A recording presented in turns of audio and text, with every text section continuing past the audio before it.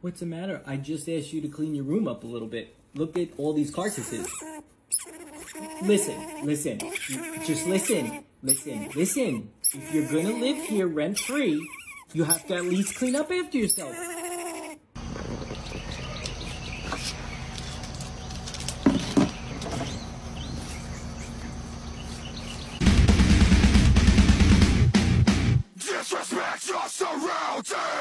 We bought a car net to keep our dogs out of the front seat.